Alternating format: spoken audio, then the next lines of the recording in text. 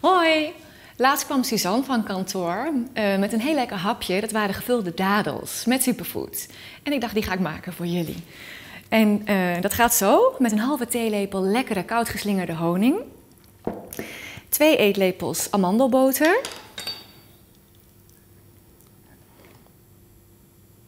Altijd verrukkelijk. Klein snufje zout vind ik altijd wel fijn, ook in zoete gerechten. Himalaya zout, hè, dus, dat is eh, heel miljoenen jaren oud zout met heel veel mineralen en sporenelementen. Een theelepel makka. Die beroemde wortel uit uh, Peru. En een halve theelepel cacao. Dus het wordt een heerlijk zoet tussendoortje.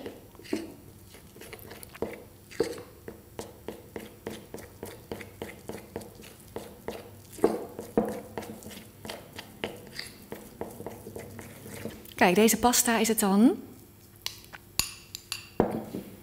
En ik heb de medjoeldadels ontpit. En vervolgens vul je ze.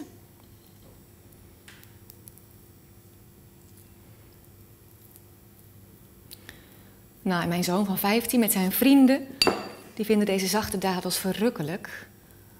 Maar ik denk zo op deze manier zijn ze nog lekkerder.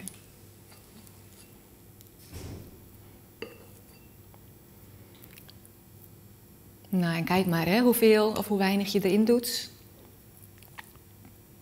Kijk, en ook dit kun je makkelijk eh, meegeven in een lunchtrommel. Of zelf naar je werk. Nou, voilà. Precies.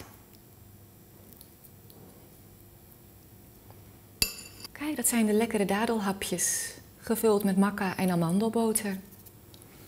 Nou, alsjeblieft.